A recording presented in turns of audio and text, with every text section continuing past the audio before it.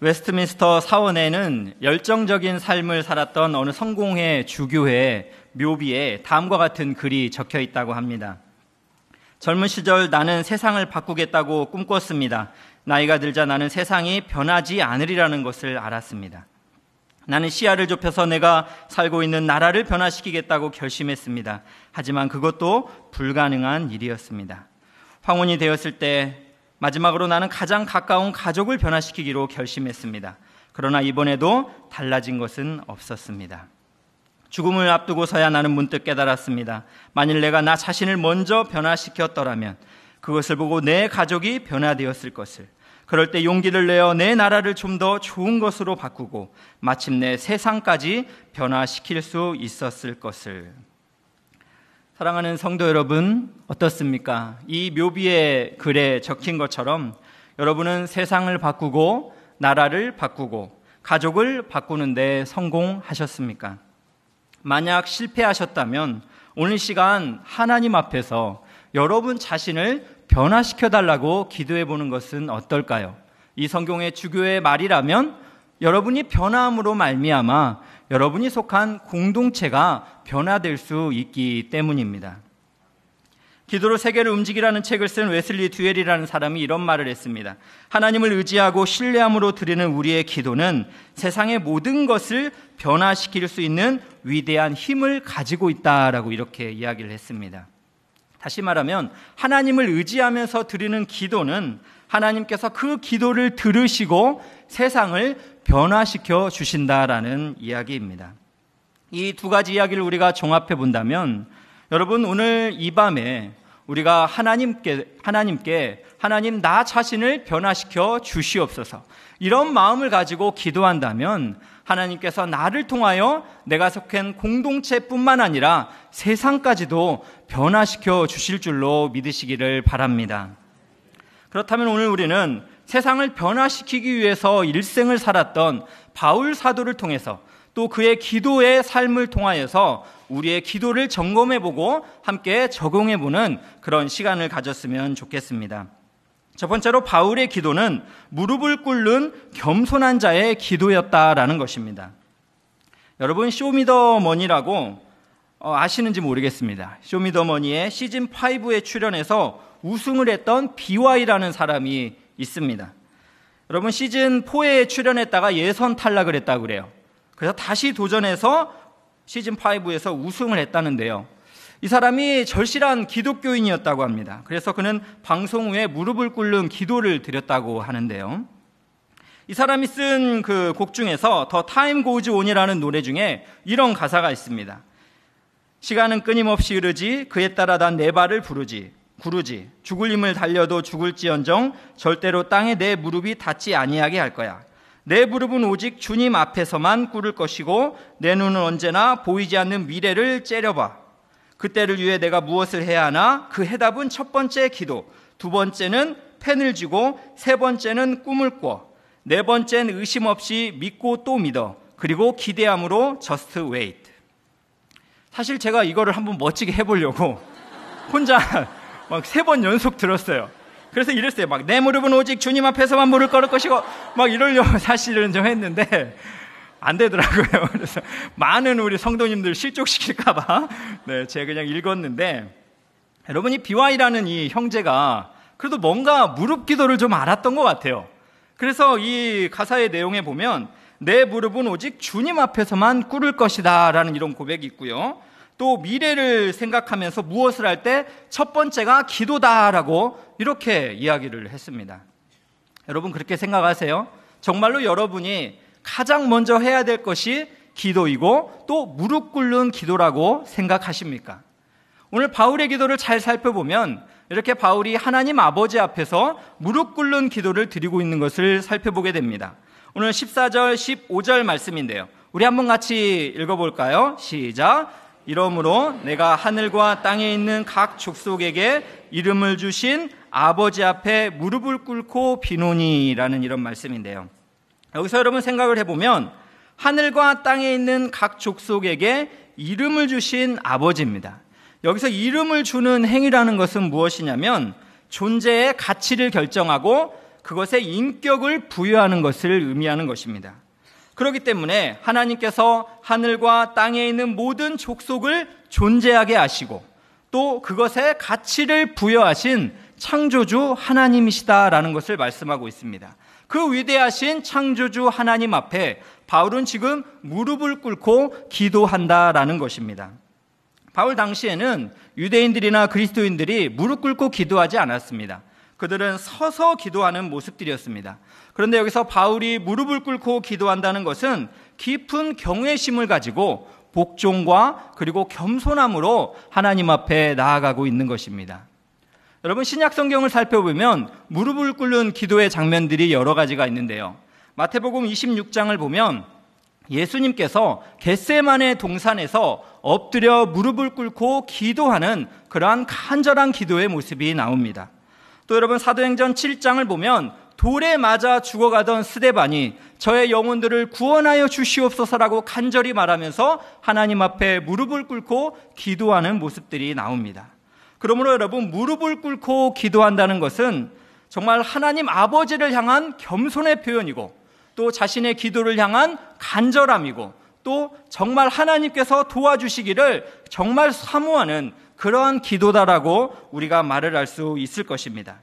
그렇다면 여러분, 여러분은 오늘 그러한 경외심을 가지고 하나님 앞에 무릎 꿇는 기도의 마음으로 이곳에 오셨습니까?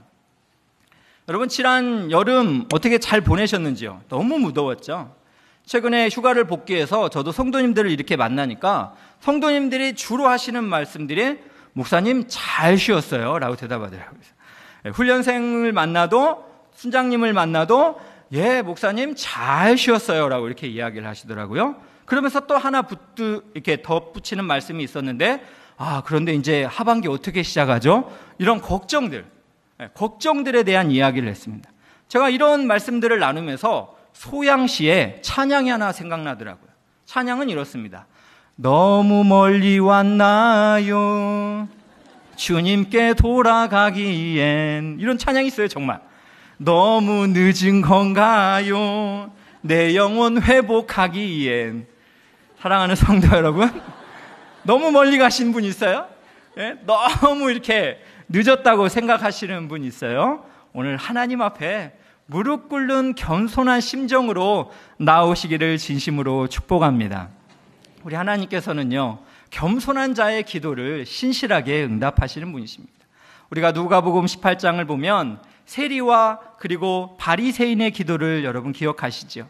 바리새인은 자기가 행한 것을 자랑하며 하나님을 우러러 보았습니다. 그러나 세리의 기도는 하나님 앞에 감히 얼굴을 들을 수 없을 정도로 이 죄인을 불쌍히 여겨달라고 그렇게 기도했던 것을 여러분 기억하시지 않습니까?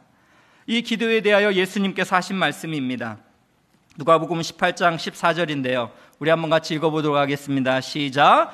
내가 너희에게 이르노니 이에 저 바리새인이 아니고 이 사람이 의롭다 하심을 받고 그의 집으로 내려갔느니라. 무릇 자기를 높이는 자는 낮아지고 자기를 낮추는 자는 높아지리라 하시니라. 지금 예수님의 말씀이 무엇입니까? 겸손히 하나님 앞에서 불쌍히 여겨달라고 기도한 이 세리의 기도를 의롭다고 인정하시고 응답하여 주셨다라는 것입니다. 이 말씀에서 우리가 적용해 볼 수 있는 것은 하나님께서는 이렇게 마음속에 자신을 낮추는 겸손한 자의 기도를 하나님께서 응답하신다라는 것을 우리에게 보여주고 있습니다.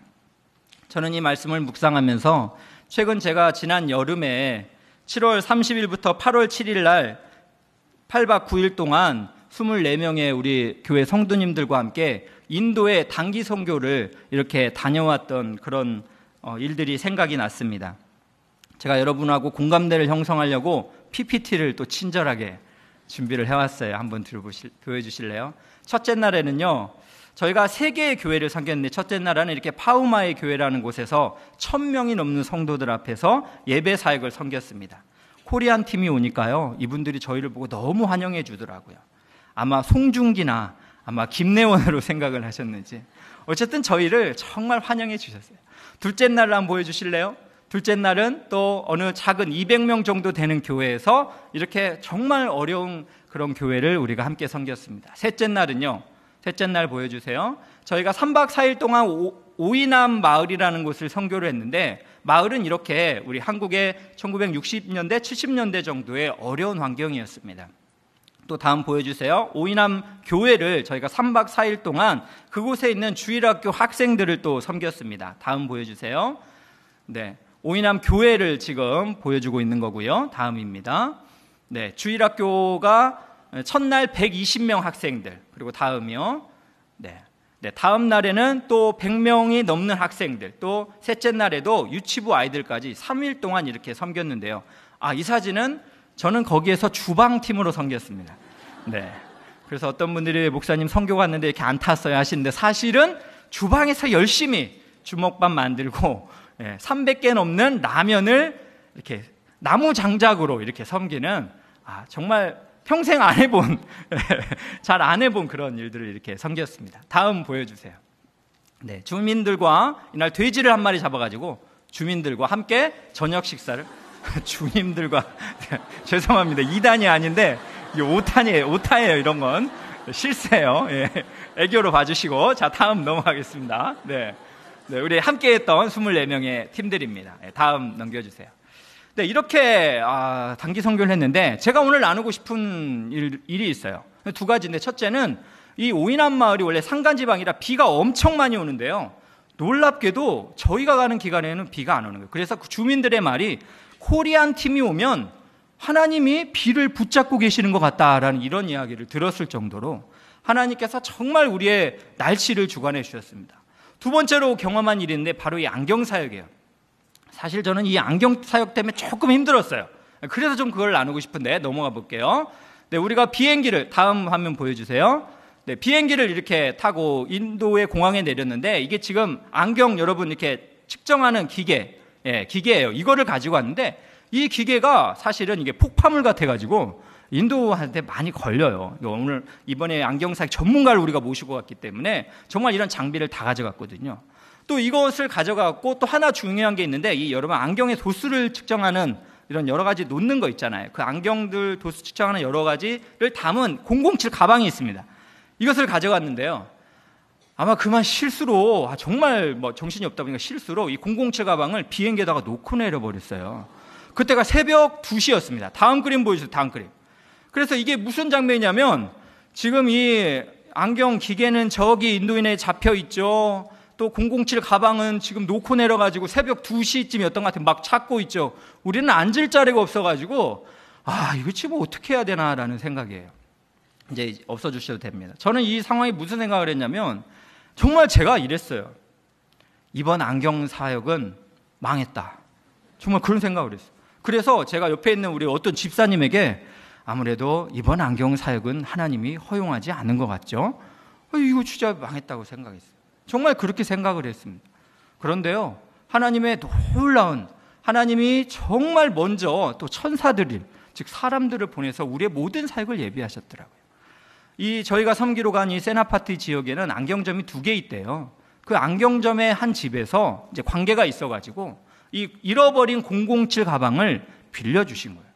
그래서 사실은요, 이 007 가방이 없이도 우리가 이 8박 9일에 안경 사역을 다 했습니다. 저는 사실 너무 놀라웠어요. 제가 지금 망했다라고 생각했잖아요. 근데 이게 이루어지니까 너무 놀랍더라고요. 그런데 제가 더 깜짝 놀란 게 있는데 그게 무엇이냐면 인천공항에 돌아왔을 때였습니다.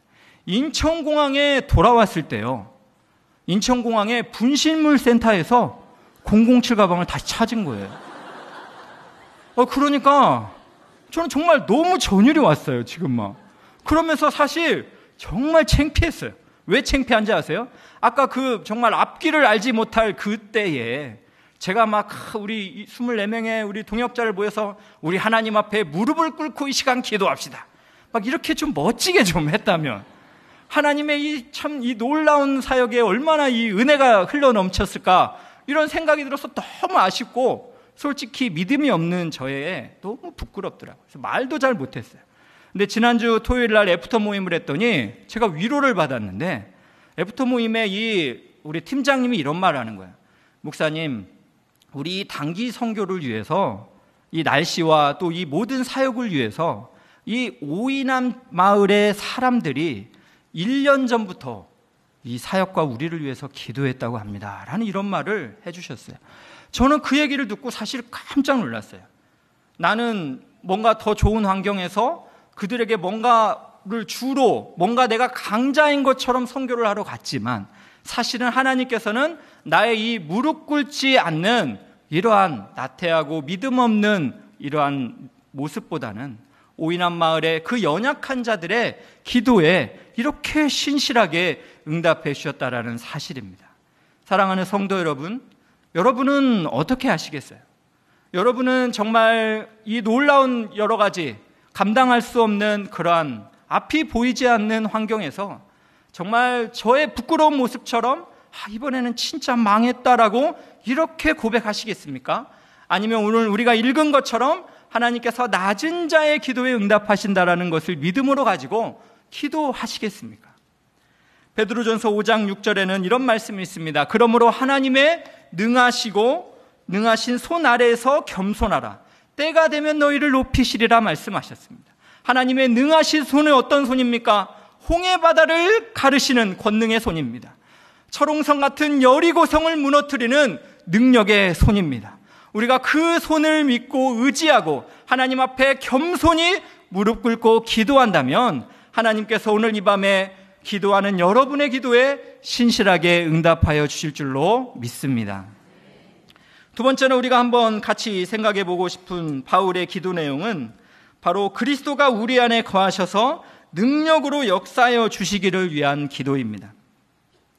제가 어느 청년 자매 기도에 대해서 어느 전도사님에게 이런 이야기를 들은 적이 있습니다. 어느 전도사님이 청년들을 한 20명 모아놓고 기도를 열심히 인도를 하고 있었대요. 근데 너무나 이 기도가 맨날 항상 자기만을 위한 기도라고 느껴져서 이 전사님이 이렇게 얘기를 했다는 거예요. 우리 청년 형제자매 여러분, 오늘은 우리가 우리 너무 자신만을 위해 기도하지 말고 우리의 가족과 이웃을 위해서 기도합시다. 이렇게 기도 요청을 했대요. 그래서 함께 이, 이 전사님과 막 이 청년들이 기도하는데 막 기도 중에 옆에 있던 자매의 기도 소리가 갑자기 들려오대요. 근데 이 자매가 이렇게 기도했다고 합니다. 하나님, 우리 부모님에게 잘생기고 멋지고 돈이 많은 사위를 허락하여 주시옵소서. 이렇게 기도를 했다라는. 저는 이 얘기를 듣고 아, 무슨 말이야 이게 지금? 잘생기고 돈 많고 에? 예? 뭐 이런? 그런 멋진 형제를 사이로 달라는 마치 부모를 위한 기도 같지만 자신을 위한 기도였잖아요 사실. 제가 이 얘기를 들으면서 뭐 비판하고 싶은 마음은 없습니다. 우리가 다 우리 피로를 하나님께서 일용할 양식을 아리라고 했으니까 아려야죠. 근데 이 얘기를 통해서 아 정말 남을 위해 기도한다는 거 너무 어렵구나. 또 사람은 정말 자기 중심적인 기도를 드리는 게 어쩌면 우리의 연약한 모습이구나라는 생각이 들었어요. 그런데 여러분 오늘 바울의 기도의 내용을 살펴보면요. 예수님이 중심이 되는 기도를 드리고 있습니다. 오늘 본문 16절에서 19절을 보면 바울이 세 가지 내용으로 하나님께 기도를 하고 있습니다. 16절에서 17절은 그리스도가 지속적으로 내주하게 해달라는 기도이고요. 18절부터 19절은 그리스도의 사랑을 알게 해달라는 기도입니다. 그리고 19절 하반절은 하나님의 모든 충만의 정도까지 충만하게 되게 해달라는 기도입니다. 여러분, 그런데 이 세 가지의 바울의 기도는 모두 예수 그리스도가 중심이 되어지고 있습니다. 그것을 제가 하나씩 빨리 이렇게 설명을 좀 해드리면 첫 번째 기도는요, 그리스도가 지속적으로 내주해 달라는 기도예요. 오늘 말씀 17절인데 한번 보시겠습니다. 믿음으로 말미암아 그리스도께서 너희 마음에 계시게 하시옵고라고 기도합니다. 사실 여러분 에베소 성도들은 이미 예수님을 믿은 형제들입니다. 그렇기 때문에 또 성령의 인치심을 받은 자들이기 때문에 그들이 믿음으로 말미암아 예수님께서 그들의 마음에 계시게 하시옵고라는 이 기도는 회심을 향한 간구가 아니라는 것이죠. 바로 이 기도는 이 쓰여진 이 단어가 바로 카토이케오라는 이 헬라어인데 이 말은 한 곳에 정착하여 영구히 그리고 지속적으로 오랜 시간 머물게 해달라라는 간구입니다. 그래서 다시 설명을 하면 바울이 지금 에베소 성도들을 위한 이 기도는 예수님께서 에베소 성도들의 마음에 지속적으로 내주해 달라라는 그러한 기도라는 것을 우리가 살펴볼 수가 있습니다. 또 바울의 두 번째 기도를 살펴보면 지식을 초월하는 그리스도의 사랑을 알게 해달라는 강구입니다. 오늘 말씀 17절부터 19절인데요. 우리 한번 같이 읽어보면 좋겠습니다. 시작. 너희가 사랑 가운데서 뿌리가 박히고 터가 굳어져서 능히 모든 성도와 함께 지식에 넘치는 그리스도의 사랑을 알고 그 너비와 길이와 높이와 깊이가 어떠함을 깨달아라는 이런 강구입니다. 여기서 여러분 18절에 지식에 넘치는 그리스도의 사랑을 알고라는 이 기도는 바로 넘치는 이라는 이 단어가 바로 초월하는 이라는 의미를 가지고 있습니다. 즉 지식에 초월하는 그리스도의 사랑을 알게 해달라라는 이런 기도입니다. 그리고 여러분 19절을 보면 이 그리스도의 지식을 초월하는 사랑이 어떠한지를 설명하는데요. 수사적 기법으로 너비와 길이와 높이와 깊이를 이렇게 설명을 했습니다. 한 가지씩 살펴보면 그 넓이는 어떻습니까? 모든 인류를 포함할 정도로 충분히 넓습니다. 또 길이는 어떻습니까? 영원히 계속될 만큼 충분히 깁니다. 그리고 깊이는 어떤가요? 가장 타락한 죄인에게까지 도달할 수 있도록 깊습니다. 그리고 높이는 어떻습니까? 가장 타락한 죄인을 하늘로까지 올릴 수 있도록 충분히 높다라는 것입니다. 여러분이 그리스도의 이 사랑은 우리의 합리적인 이성을 초월하는 사랑입니다. 이 사랑을 알게 해달라고 바울은 기도하고 있다라는 것입니다. 또 세 번째 강구는 무엇인가 하면 그리스도의 장성한 분량까지 자라게 해달라는 기도입니다. 오늘 말씀 19절 하반절을 보면 하나님의 모든 충만하신 것으로 너희에게 충만하게 하시기를 구하노라 라고 이렇게 말씀을 하고 있습니다. 하나님의 모든 충만하신 것이라는 표현은 여러분 헬라어 원문으로 살펴보면요. 하나님의 모든 충만의 정도까지라는 의미예요. 그러니까 하나님의 모든 충만의 정도까지 자라게 해달라는 기도입니다. 여러분 이것은 바로 하나님의 완전한 수준까지 자라게 해달라는 여러 가지 이런 의미를 포함하고 있는데요. 특별히 에베소서 4장 13절에 우리가 다 하나님의 아들을 믿는 것과 아는 일에 하나가 되어 온전한 사람을 이루어 그리스도의 장성한 분량이 충만한 데까지 이르르니 이런 말씀과 유사합니다. 또 마태복음 5장 48절에 하늘에 계신 너희 아버지의 온전하신것 같이 온전하라라는 말씀과 유사합니다. 그렇기 때문에 이 바울의 세 번째 강구는 그리스도의 장성한 분량까지 자라게 해달라는 이러한 강구입니다. 근데 여러분 이 바울의 이 세 가지의 이 간구는요 공통적인 것이 있어요. 바로 그 놀라운 것은 바로 첫 번째 기도와 깊이 연결이 되어 있다는 것입니다. 그 첫 번째 기도가 무엇입니까? 그리스도가 우리의 마음 속에 지속적으로 내주해 달라라는 이러한 기도입니다. 그것이 두 번째 기도의 결과로 나타납니다. 그리스도가 우리 안에 지속적으로 거주함으로 그 결과 그리스도의 지식을 초월하는 사랑을 알게 된다라는 것입니다. 그리고 바울의 세 번째 강구는 그리스도가 우리 안에 지속적으로 내주하시면서 그 목표가 어디까지요? 그리스도의 장성한 분량까지 성장할 수 있다라는 것입니다. 그래서 여러분 이 바울의 세 가지 강구는 우리의 마음 속에 그리스도가 지속적으로 함께 해 주시기를 간구하는 기도다라고 우리가 종합을 해볼 수가 있을 것입니다. 저는 오늘 말씀을 묵상하면서 로버트 멍에 목사님의 내 마음 그리스도인의 집이라는 이러한 책에서 명의 이전이라는 이런 용어가 생각이 났습니다.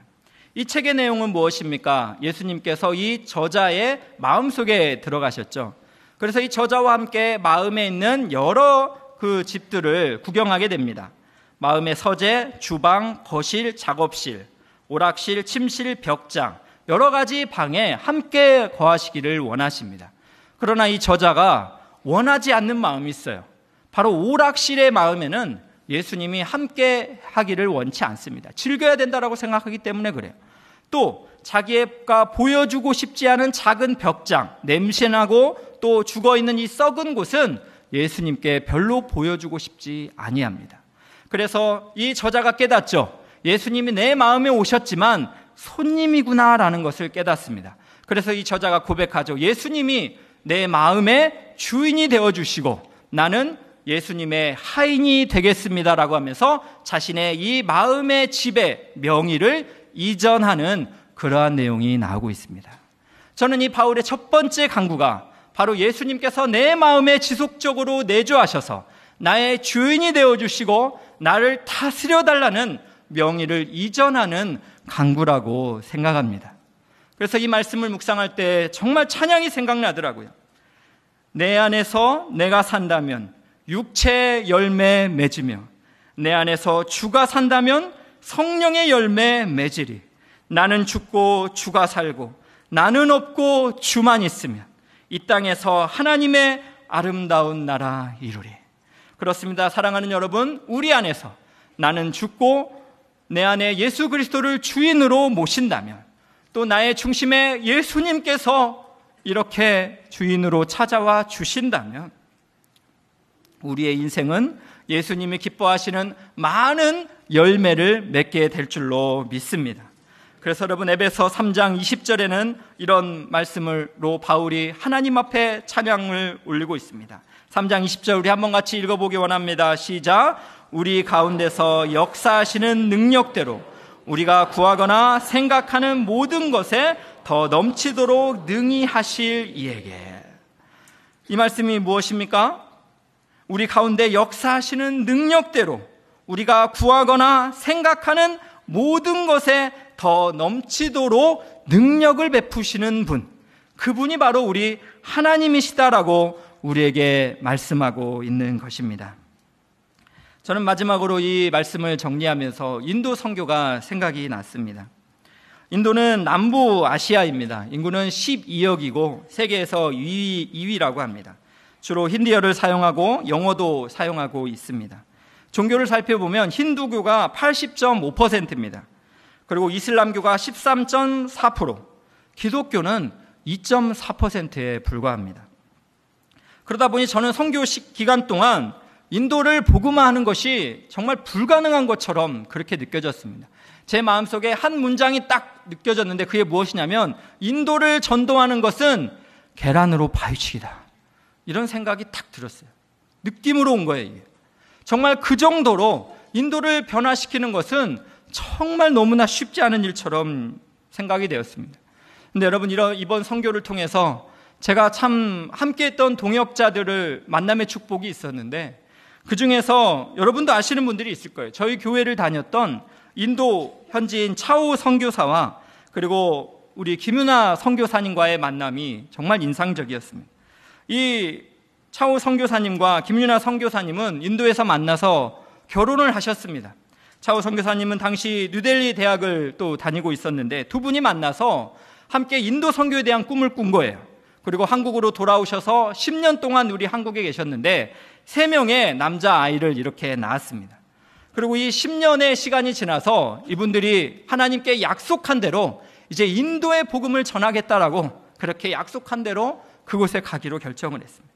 그래서 우리 차오 선교사님은 저희보다 한 달 전에 먼저 들어가셔서 저희의 단기 선교팀을 위해서 그렇게 준비해 주셨고 우리 김윤아 선교사님은 우리 교회에서 요즘 음반 찬양한다고 그랬어요. 찬양 CD 제작 다 마치고 이제 10월이면 정말 인도 땅에 들어가서 복음을 증거하는 일을 하게 됩니다. 사실 저는 차오 선교사님하고 인도 공항에서 헤어질 때도 정말 울었습니다. 파송의 노래가 생각했어요. 주의 나라 위하여 길 떠나는 나의 형제여, 주께서 너와 함께 하시리. 그렇게 정말 그 형제를 보냈습니다. 그때 하나님께서 제게 주신 마음이 있었는데 하나님의 말씀에 예수님께서 하신 말씀입니다. 내가 너희를 보냄이 이리를 양 가운데 보낸 것 같도다. 여러분 이리를 틀렸네요. 제가 너무 집중하다가 틀렸어요. 예, 양을 이리 가운데 보낸 것 같도다. 양을 이리 가운데 보내는 여러분 예수님이 어디 있어요? 그런데 그렇게 보내겠다요. 그렇다면 제가 이 말씀을 계속 묵상하는데 양을 이리 가운데 보내는 예수님은 잡아먹히라고 보내지 않지 않습니까? 그 양과 함께 해주시겠다는 거 아닙니까? 그래서 그 이리들이 있는 세상이라도 하나님께서 세상 끝날 때까지 지켜주시고 보호해 주시겠다는 약속 아니겠어요? 이 말씀이 생각이 나서 참 위로가 되었습니다. 그런데 한국에 돌아와서도 정말 이게 진짜 맞는가라는 생각이 드는 거예요. 우리 귀한 김윤아 선교사님 이제 새 아이들 데리고 이제 아이들이 어립니다. 제가 알기로 막 다섯 살 막 이래요. 이 아이들 데리고 그 인도의 땅을 간다는 게 말리고 싶더라고요. 제 동생이었으면 아 그거 아닌 것 같아. 이렇게 진짜 말하고 싶을 정도로 정말 말리고 싶었습니다. 이 연약한 믿음으로 있는데 하나님께서 기도 중에 생각나게 하신 것이 있어요. 그게 무엇이냐면 인도에서 우리가 세 개의 교회를 이렇게 예배 사역으로 섬겼는데 그곳에서 제가 감사하게도 하나님의 말씀을 증거했습니다. 하나님의 말씀을 증거하면서 그곳에서 그 세 교회에서 계속해서 마지막 순간에 했던 것이 있어요. 그것이 무엇이냐면 인생의 모든 질문에 대한 답은 예수 그리스도입니다. 라는 것을 했어요. 백문일답을 했습니다. 그래서 저는 인도인들에게 물었습니다. 사랑하는 인도 여러분, 인도의 12여 개 사람들을 구원하실 이가 누구입니까? 그렇다면 인도인들이 같이 주먹을 쥐고 말했어요. Jesus Christ. 저는 또 물었습니다. 여러분의 가정과 여러분의 교회를 새롭게 하실 분은 누구십니까? 함께 고백했습니다. Jesus Christ. 저는 한국에서 기도하는데 또 설교를 준비하는데 이 생각이 난 거예요. 여전히 나는 믿음이 연약해서 인도 선교가 계란으로 바위 치는 것 같이 그렇게 보이지 않고 그곳에서 헌교, 헌신하겠다고 자원한 이 선교사님은 마치 정말 너무나 좁은 길을 걸어가는 그래서 꼭 이 길을 가야 됩니까? 라고 이렇게 말리고 싶어 하는 이 연약한 믿음이지만 예수님께서 제 마음을 책망하시는 것 같았어요. 너는 네가 예배당에서 그렇게 함께 외쳤던 너의 그 예수 그리스도가 너에게는 구호에 불과했느냐라는 그러한 질책이었습니다. 그래서 저는 오늘 이 말씀을 준비하면서 우리가 함께 예수님께서 정말로 우리의 중심에 내주하여 주시기를 기도했으면 좋겠습니다. 인생의 모든 질문에 대한 답이 예수 그리스도이기 때문에 그분이 모든 불가능을 가능하게 할 수 있다라는 것을 우리가 믿음으로 좀 신뢰하고 나아갈 수 있으면 좋겠습니다. 그렇게 우리가 그렇게 기도한다면 하나님이 우리에게 무슨 일을 하시겠어요? 저는 여러분에게 묻고 싶습니다. 새로운 우리 하반기를 시작하면서 여러분 염려하십니까? 아니면 기도하십니까? 우리가 바울의 기도와 같이 예수 그리스도가 내 마음의 중심에 내주하여 주시기를 그렇게 무릎을 꿇고 우리가 간절한 마음으로 하나님 앞에 존귀와 영광의 기도를 올려드린다면 우리 주님께서 먼저 나를 변화시켜 주시고 그리고 내가 속한 가정과 내가 속한 이 나라와 이 세계를 변화시켜 주실 줄로 믿습니다. 이런 믿음을 가지고 함께 기도하는 이 밤이 되시기를 예수님의 이름으로 축원합니다.